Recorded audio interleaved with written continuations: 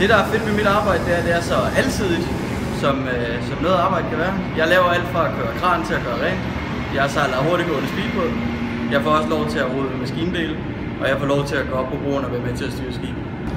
En, øh, en typisk arbejdsdag for mig starter klokken øh, 4 om morgenen, hvor jeg går til 4 om eftermiddagen.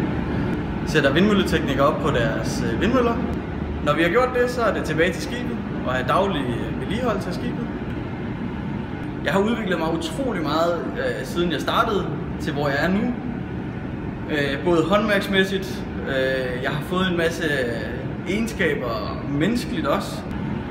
Man skal gøre karriere i øh, offshorebranchen eller lidt blå Danmark generelt, fordi at det er et altid arbejde, du får lov til at prøve i et hav af forskellige ting.